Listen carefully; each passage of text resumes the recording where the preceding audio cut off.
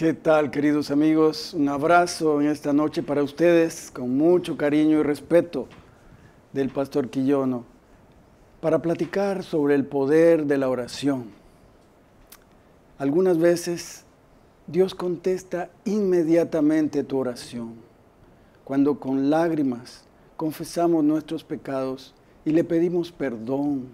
Dios inmediatamente contesta esa oración sincera cuando le pides el Espíritu Santo, cuando le pides conducción. Pero hay veces que las oraciones tardan en responderse. ¿Qué hacer? ¿Cómo reaccionas ante la tardanza de tu oración contestada? Quédate con nosotros para poder conversar sobre este importante tema con nuestro invitado de esta noche. Quédate con nosotros, bienvenidos al programa Un Momento de Paz.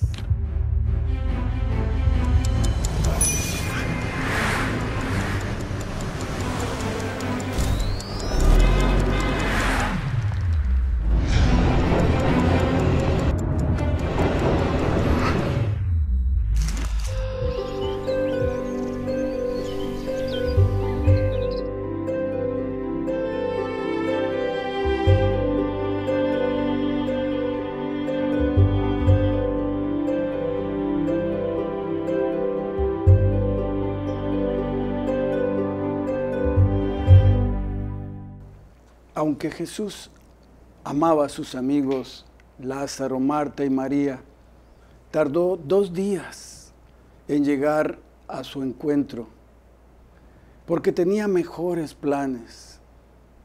Muchas veces no entendemos los caminos de Dios, pero sabemos que su voluntad es agradable y perfecta para nuestra vida. Y hoy platicaremos por qué a veces se tarda en contestar el Señor con nuestro invitado. Gracias José Luis Girarte por estar con nosotros esta noche. Gracias por la invitación, me siento honrado, privilegiado. Gracias, gracias. Eh, cuéntanos algo de ti, José Luis. Bueno, eh, mi nombre es José Luis Girarte, soy del estado de Michoacán, de Zaguayo, Michoacán. Eh, familia de seis hermanos, cinco hermanos y una hermana. Y bueno, este, podríamos ah, decir que desde mi juventud ¿no? este, conocí a Jesús a los 17 años y, desde entonces me aferré a, este pilar ¿no? de la oración. Siento que, Dios me ha conducido a través de toda mi vida, a través de los años.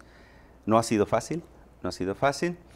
Eh, conocí el Evangelio, conocí Montemorelos, la Universidad de Montemorelos, y aquí fui creciendo espiritualmente eh, hasta donde voy, hasta donde voy. No digo que he alcanzado la perfección, pero ahí vamos, ¿no? Estamos en ese proceso. Creciendo en la gracia. Creciendo en la gracia, exacto.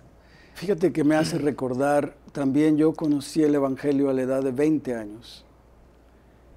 Y aquí estamos por la gracia de Dios, en este camino maravilloso. Y Dios nos responde y a veces se tarda en responder. ¿Qué ha llegado a ser la oración para ti? Cuéntanos. Claro, la oración, eh, sin duda, como hemos eh, conocido a lo largo de los años en, este, en esta vida espiritual, la oración es como la llave, ¿no? Que se señala, que la, llave que abre los almacenes de los cielos. Se ha convertido en, un, en una herramienta, voy a, voy a, ponerlo de esta forma, en, en una forma, en un medio para alcanzar, para lograr. No es que a través de la oración intente eh, mover el Espíritu de Dios o manipular a Dios, sino más bien es un, es un medio, un camino para acercarme en momentos difíciles o muy difíciles, pero también en otros momentos, en los momentos de felicidad, de gratitud. La oración pues para mí se ha convertido en una constante, en una actividad real, no es solamente palabrerías, no es una meditación consigo mismo. Yo estoy consciente que la oración es un diálogo con Dios, abierto. Abierto, y en ese diálogo hay apertura, hay vulnerabilidad de nuestra parte, porque hablamos con alguien que conoce a lo más profundo nuestra vida incluyendo aquellos aspectos que nosotros desconocemos. Claro. Por lo que Dios que mira el futuro sabe cómo conducir a sus hijos por el camino que los llevará a la dicha sin fin con Él, ¿no? Porque al fin y al cabo estamos de paso y algún día todos descansaremos a menos de que el Señor venga antes, ¿no? Claro. Solo que a lo largo de este camino, eh, como usted mencionaba en la introducción, eh, muchas veces nos quedamos a la espera de una respuesta de parte del Señor. Eh, en mi caso ha habido muchas situaciones donde no he tenido la respuesta de parte de Dios, o por lo menos la que yo esperaba. eso me lleva a pensar de que debo ser paciente, debo esperar. Salmo 37, 7 lo señala, que hay que tener paciencia, hay que saber esperar y hay que escuchar inclusive a Dios en el silencio. Sin embargo, esa espera, como dice el dicho popular, el que espera desespera y muchas veces nos sentimos frustrados porque no tenemos respuesta de Dios. Yo, yo he oído testimonios de mamás, personas, mujeres que han estado orando muchos años por sus esposos y al cabo de 20, 30 años se entrega a Dios. ¿Cuál sería el propósito de Dios? Hay muchos propósitos. Dios, su, multiforme sabiduría, tiene muchas maneras donde solamente vemos una a medias. Dios tiene mil formas y mil razones por las cuales dirigirnos como lo dirige, como lo hace. ¿no? Claro, ante la mente finita del ser humano, eh, es, es, imposible muchas veces comprender ese, ese silencio que, que, guarda Dios. Tiene muchas formas, pero ante una situación de crisis, ante una situación adversa que estemos viviendo, ya sea de familia, con nuestros hijos, con nuestras hijas, con nuestra pareja en el trabajo, nuestras relaciones. Hay situaciones donde nos, llega a pensar cómo es nuestra naturaleza, es decir, llegamos a pensar cómo es nuestra naturaleza humana y tal vez una naturaleza egoísta, pensamos en nosotros mismos y, creemos que Dios no nos contesta y nos frustra. Sí, sí, sí, definitivamente. Y en cierta manera prueba nuestra fe.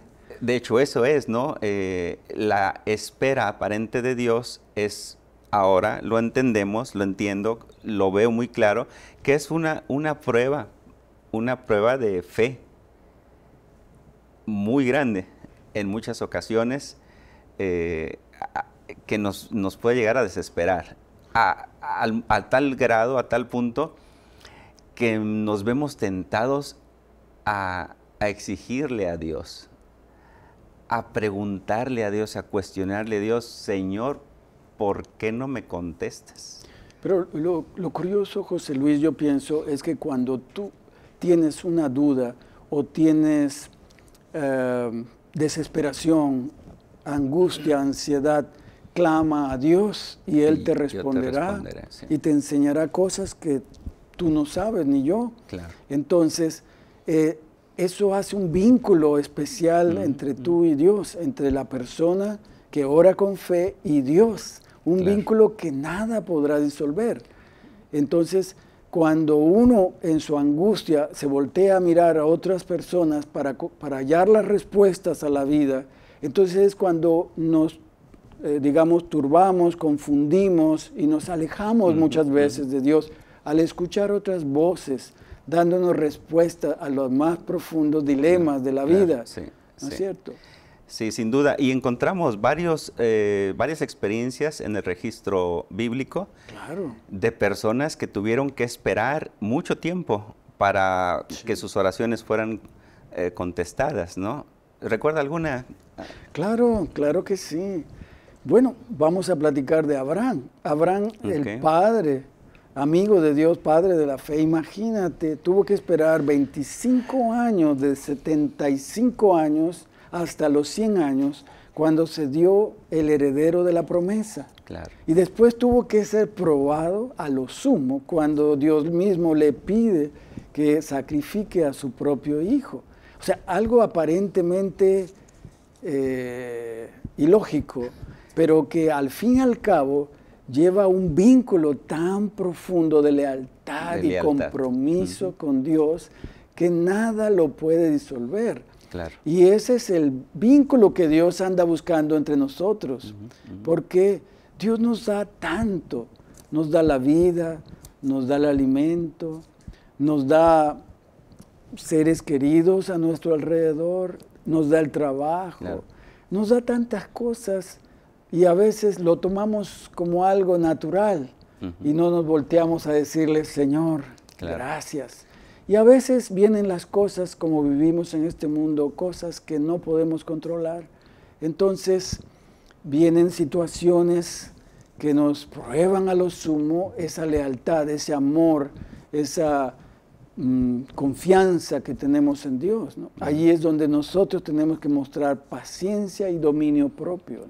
Ahora, e, este, este fenómeno es tan interesante. Me imagino que ¿Puedes contarnos alguna anécdota donde tu fe fue probada? Sí, de hecho, eh, pareciera que toda, toda mi vida ha sido una prueba de fe, ¿no? Una prueba constante, de hecho, eh, creo que lo es para la gran mayoría de los seres humanos, todos pasamos por diferentes pruebas, pero, pero mi trayectoria, eh, tanto de joven y las diferentes tentaciones que presenta el mundo, después que me casé y luego las hijas, en, mi caso, y luego el trabajo, es decir, las diferentes situaciones, circunstancias que me ha llevado la vida, en cada una de ellas ha habido pruebas significativas de fe. Eh, que ahora las, las, las veo desde ese punto de vista, ¿no? Porque antes eran pruebas, situaciones difíciles, donde no, aparent, eh, no aparentaba una respuesta pronta, no, no, no se veía una salida. Pero ahora lo entiendo y ahí es donde, donde me aferro, ¿no? Hay que tener paciencia, a saber esperar. Eh, y hacer tu parte, ¿no? Porque a veces hay que esperar y hay que actuar haciendo algo que Dios te pide hacer. Sí, y muchas veces pensé si estaba orando de la manera correcta. Mm, eso es muy importante. O hay o, le pregunto, ¿no? Usted que tiene esta experiencia como pastor, como teólogo, ¿hay maneras eh, no correctas de orar?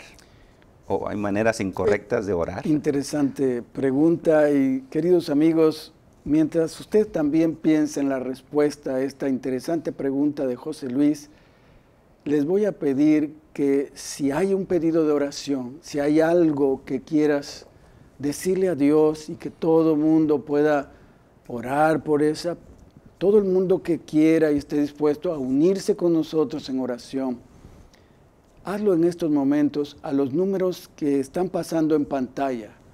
Comunícate con nosotros y dinos cuál es el pedido de oración para que nosotros nos unamos a ti no para que nosotros solamente oremos, sino para que tú y yo oremos juntos. Y mucha gente sincera y ferviente, como las guerreras de oración, se unirán a nuestras oraciones para orar por ti en ese pedido especial. Y hará la voluntad de Dios, se hará la voluntad de Dios, ¿no es cierto? Entonces, el, el punto es, ¿qué hacer? ¿no? La pregunta es... O si hay formas erróneas de orar. Definitivamente, Santiago dice eso mismo, dice. Primero, porque no pedimos. A veces no pedimos a Dios. Dios está dispuesto a darnos muchísimas cosas de las que ni siquiera nos imaginamos.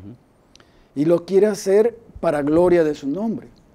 Pero a veces no pedimos y a veces pedimos y pedimos mal, dice mm. Santiago, para gastar en nuestras propias concupiscencias. Nuestros propios deleites. En propio deleite. Pedimos egoístamente, ¿no? De tal manera que mm, de alguna manera lo único que haría la respuesta sería hacer crecer el egoísmo en nosotros. Claro. Dios que conoce nuestros corazones sabe cuándo y cómo podrá contestarte de una manera así sí es claro de una manera que sobrepasa aún tu propio entendimiento. Dice que la voluntad de Dios es agradable y es perfecta. Claro. Eso dice Romanos. Ahora, agradable porque los resultados en última instancia te va, te va a gustar. Sí. Y perfecta porque viene justo a tu medida. Claro. Hecha para ti, de una manera personal. Por eso es tan importante estudiar personalmente la Biblia. Claro. Porque con la Biblia entendemos, a través de la unción del Espíritu Santo en oración, entendemos cuál es la voluntad de Dios. De tal manera que lo creemos porque Dios lo ha dicho. Y Él es, digámoslo así, digno de toda nuestra confianza plena. ¿no? Y si Él lo dijo, ¿quién soy yo para decir lo contrario? ¿no? Claro, y aferrado a la promesa de pedir y se os dará, Así es. eh, me lleva a pensar, eh, ¿será que, como dice Santiago, pedí- no recibimos porque pedimos mal? Entonces eso implica de que muchas veces mm, pues no sabemos pedir, lo dice bien claro, no, no sabemos cómo pedir. Así es. De Sí ahí- sabemos a quién pedirle, lo es. tenemos bien claro. No todos. Bueno, claro. Por ejemplo, en este periodo del, del Día de los Muertos, Claro, algunas personas adoran a la muerte. Y yo no sé cómo piensan que está viva, pero está muerta. Y Claro. si está muerta la muerte, nada que ver, ¿no? No hay por qué pedirle a nada eso. En mi, en mi experiencia de fe y de oración, yo recuerdo bien marcado cuando tuve que decidir venir a Montemorelos. Y le dije a Dios en una oración simple, todavía no conocía a Dios como lo conozco a lo largo de estos años, en esta experiencia no espiritual. Le dije, ¿cuál es tu voluntad, Señor? Esa es una oración. Esa es una oración sincera, de amigos, como, eh, como un diálogo, un diálogo en confianza con Dios. Y, y puede ser que esta no sea tan original, porque es una pregunta que todos nos hacemos, como muchas veces nos hemos hecho. ¿Qué quieres que haga, Señor? ¿Cuál es tu voluntad? Y yo le dije al Señor, ¿me quieres llevar a Montemorelos? Eh, eh, ¿Eso es lo que tú quieres que yo haga?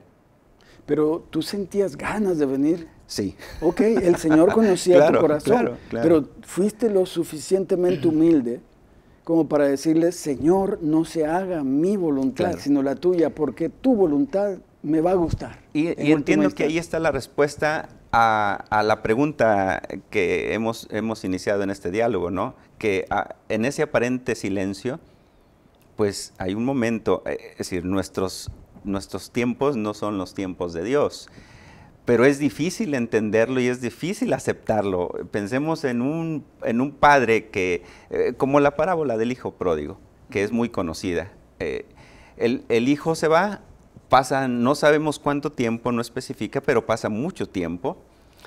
Y el padre y la mamá, la familia, se la pasan todo el tiempo orando para que el hijo regrese o para que Dios cuide al hijo. Y no hay una respuesta pronta, aparentemente. Ese tiempo, ese periodo, es un periodo de, de mucha prueba, de prueba de la fe. Y a donde voy es a la persistencia de los padres, a no claudicar, a no dejar que nos No desanimarse. No desanimarnos. Porque no vemos aparente Exacto. respuesta, no vemos claro cómo nuestros hijos están cambiando por la oración, ¿no? Sí, y, y le preguntamos a Dios, ¿cuánto más tiempo, Señor, en nuestra angustia, ¿no? En, en una, en un diálogo bien humano, en una charla y una expresión bien humana. ¿Cuánto más tiempo, Señor? O, Padre, ¿por, ¿por qué aún no recibo la respuesta que estoy buscando aparentemente, ¿no? José Luis, fíjate que dentro de otras razones por lo cual aparentemente se pueden demorar, es porque debemos reexaminarnos a nosotros mismos. No porque necesariamente nosotros estemos causando esto, sino sencillamente para, si hay algo que obstaculiza la oración, pueda Claro. ser entregada a Dios. ¿Por qué? Porque las oraciones están basadas en la palabra de Dios. La contestación de las oraciones están basadas en la poderosa palabra de Dios, que es eterna. Claro. Pero la palabra de Dios tiene condiciones en cierta manera. Condiciones que al no cumplirse esas condiciones tampoco viene la respuesta. Claro. Vamos a suponer, el pueblo de Dios había recibido la promesa de entrar a la tierra prometida, a establecerse, pero tardó 40 años vagando en el desierto porque no creía la promesa y no establecía las condiciones para que esa promesa se cumpliera. Claro. Entonces constantemente se rebelaban contra Dios, contra los líderes de su tiempo, de tal manera que Dios no podía eh, meterlos, digámoslo así, porque iba a perecer todo el pueblo. Tenía su tiempo y es una preparación. Por eso en la época estamos esperando la venida de Cristo. Claro, claro. ¿Y por qué se tarda en venir? Pero me hizo recordar a ese mismo pueblo de Israel cuando antes estaba en Egipto, que no fueron 40 años, fueron 400 años. No, me refiero a 40 años que pasó en el desierto. Claro, pero previo a eso, 400, años. Y, hasta entonces una, una, aparente respuesta de Dios a la oración, porque lo señala así la palabra de Dios, que fueron escuchados los clamores, ¿no? El clamor del pueblo. Y entonces vino ese, este éxodo, ¿no? Que usted señala. Y es cierto, ¿no? Eh, Como respuesta a las oraciones fervientes de su pueblo, porque cuando Dios se aproxima a Moisés le dijo, he oído, he oído el clamor de mi pueblo.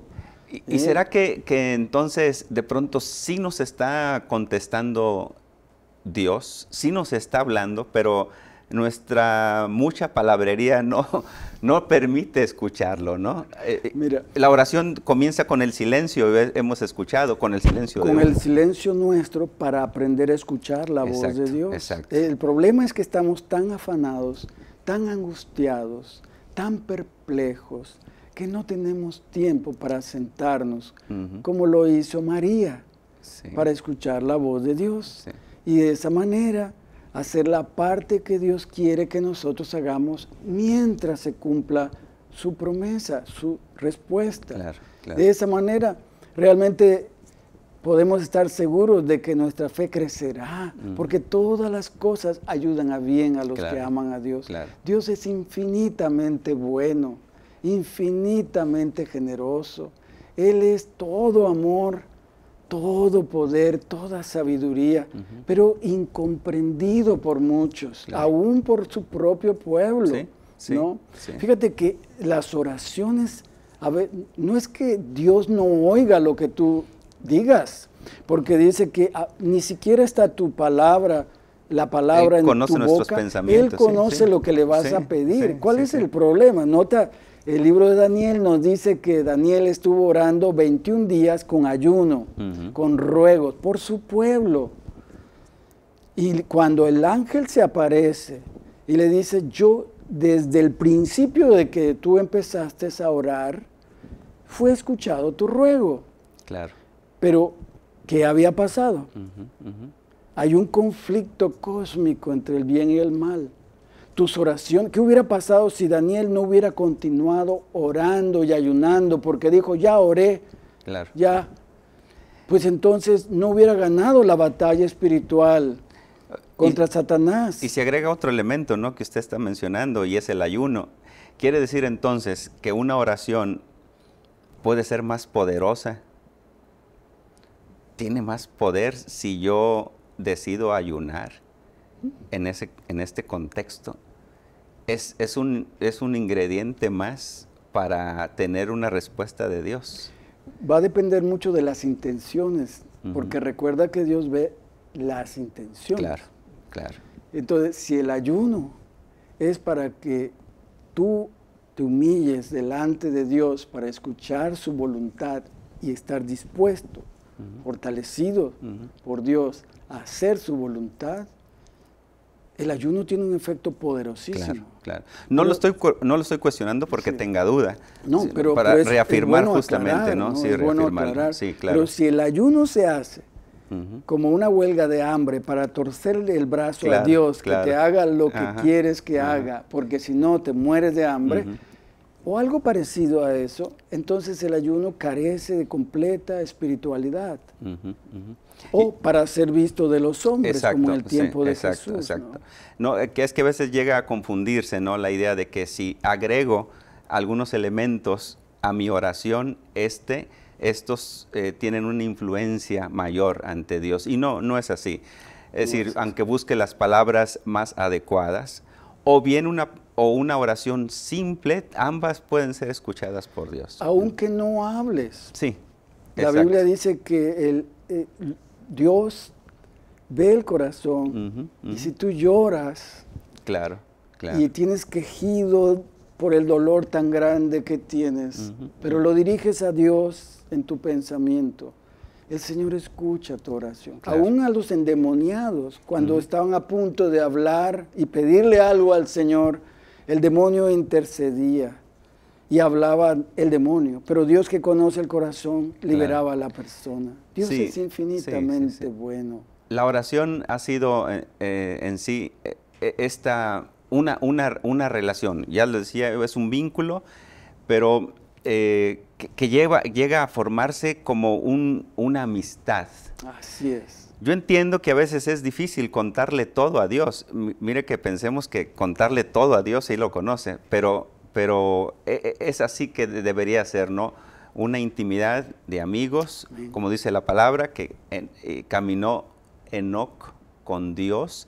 Eso significa muchas cosas, es de tenerlo de amigo, de ir platicándole lo que le estaba Así es, ocurriendo. Sin, lugar, sin lugar a duda. Sí, sí. Queridos amigos, mientras terminan de colocar sus pedidos de oración, vamos a escuchar un instrumental para alabanza y gloria de Dios junto a la cruz de Adalía Aneros, para honra y gloria de Dios.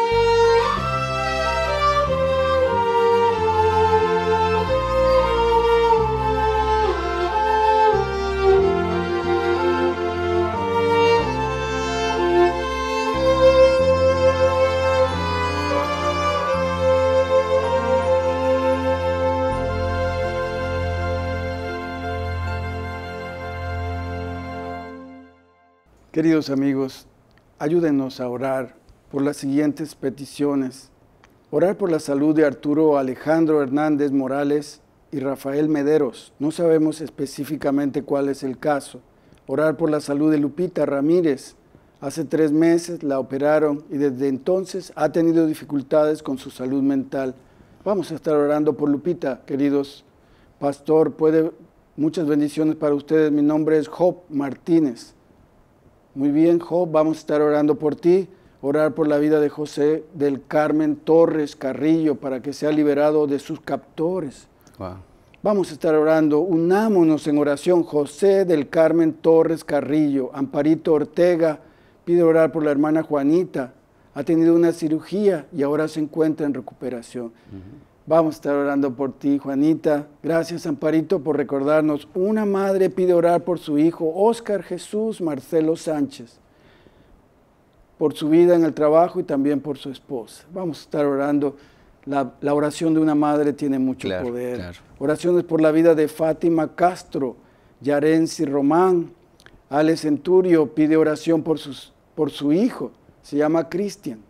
Está sin trabajo, se encuentra muy desanimado. Ojalá que pudiéramos darle una palabra de consuelo a Cristian para que viera precisamente Sí, el poder de la el oración Elena López pide oración por sus planes, que Dios pueda guiarla y estar con ella en cada decisión.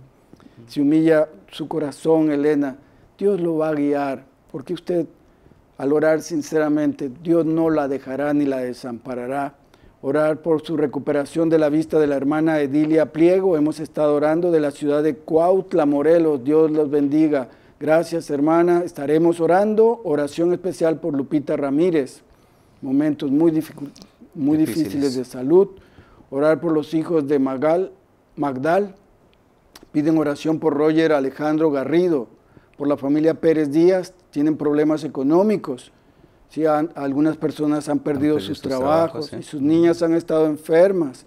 Ellas no son adventistas. También por la familia Pineda Arteaga. Ojalá que algunas personas piadosas puedan visitarla, aunque sea orar por ellas, llevarle algo, aunque bien tapados, bien mm. cubiertos. Por la familia Tepepan, pues están enfermos por COVID.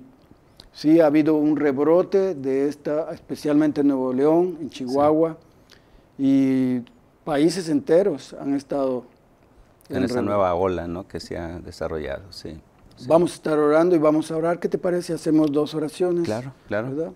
¿Tú querías dar una palabra eh, antes de orar? Finalmente, no, recordarle a todos los, los, que nos están escuchando que la oración pues comienza con, con el saber escuchar con el silencio y aprendamos a escuchar la voz de Dios aún en el silencio. Eh, en ese aparente eh, silencio de Dios, ¿no? Ahí también Él se puede manifestar. Sí. sí, la mejor forma de escuchar a Dios es guardando silencio y que el mundo también guarde silencio. Claro, claro. Para que la voz de Dios hable, ¿no? Vamos a orar. ¿Puedes iniciar? Claro.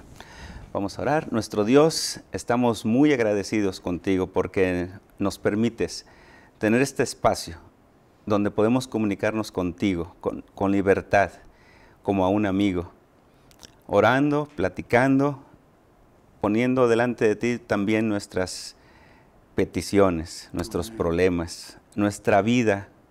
Tú la conoces y tú conoces nuestros pensamientos, nuestras palabras antes de ser habladas nuestro Dios, solo te pido una cosa en esta noche. Atiende las oraciones de tus hijos conforme a tu divina voluntad. Amén. Queremos escucharte. Queremos que te manifiestes para honrar y glorificar tu nombre a través de los milagros que obrarás en la vida de estas peticiones que se han expresado en público. Atiéndelas conforme a tu divina voluntad, Padre. Y te ruego para que les des paz y consuelo aquellas personas que eh, se sienten frustradas, se sienten necesitadas, desesperadas. Trae paz a su corazón, Señor. Oramos confiadamente en los méritos de Cristo. Nosotros no tenemos ninguno, pero a través de su sangre que nos otorga el perdón y nos limpia de todo pecado, en su nombre oramos en esta noche. Amén. Bendito Padre, tú que eres toda fortaleza y amor, Pongo en tus manos también, igual que mi hermano José Luis, estas peticiones que se han elevado hasta el trono de tu gracia y que al hacerse públicos, Señor, también claman a ti públicamente para que vean tu gloria públicamente. Pedimos, Señor, que finalmente redunde para tu honra y honor que con humildad y sencillez podamos ver tu gloria, aprender a escuchar tu voz, de tal manera que nada nos separe del amor de Dios que es en Cristo Jesús. Para aquellas madres que oran por sus hijos, para que se conviertan a ti, para que se sigan tus caminos. Señor, tú como Padre amante comprendes a los padres, porque eres un Padre amante, el único, el único Dios verdadero. Por ello ponemos en tus manos aquellas oraciones que evocan una enfermedad como el COVID, como el cáncer, como la ceguera o problemas de la vista, problemas familiares, de trabajo. Ponemos en tus manos, Señor, nuestros más grandes necesidades. para que tú seas glorificado y nosotros podamos dar testimonio de la verdad para honrarte y glorificarte. Danos tu paz, la paz que el mundo no conoce, pero que tú sabes dar, para honra y gloria tuya. Nos entregamos esta noche a ti en adoración, alabanza y agradecimiento en el nombre de Jesús. Amén. Amén. Gracias, José Luis. Muchas gracias por la por invitación. acompañarnos. Sí, Magnífico. Gracias por esta conversación tan edificante. muchas gracias. Y gracias a ustedes, queridos amigos, por estar con nosotros. Recuerden que a veces las oraciones tardan en contestarse, porque hay algo mejor que Dios tiene reservado para ti. Aún más allá de lo que entiendes, Dios está al control. No tengas miedo. Como la palabra de Dios dice, por nada estéis angustiados, mas sean conocidas vuestras peticiones delante de Dios. Y entonces la gracia del Señor Jesucristo, el amor del Padre y la comunión con el Espíritu Santo sean con todos ustedes.